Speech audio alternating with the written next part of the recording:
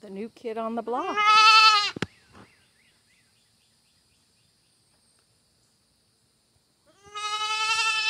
She misses her mother and her father and her sister.